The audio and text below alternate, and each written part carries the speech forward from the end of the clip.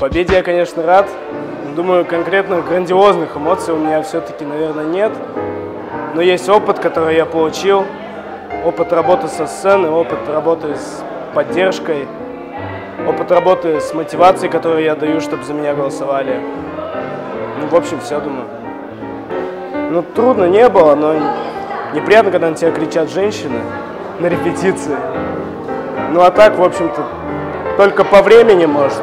То, что ты не успеваешь там сдать зачет, сдать контрольную, как я сегодня не успел. Ну и все. Ну, немного волнения было, но пришел я вообще не сам. Мне группа подтолкнула.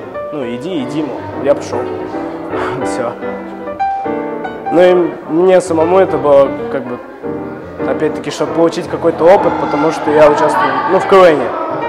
У меня перед сценой очень большой должен быть. Считаю, что многие молодые люди сейчас будут как-то равняться на меня, как может подражать, я не знаю. Но это в любом случае будет. И надо делать это так, чтобы они подражали человеку правильному.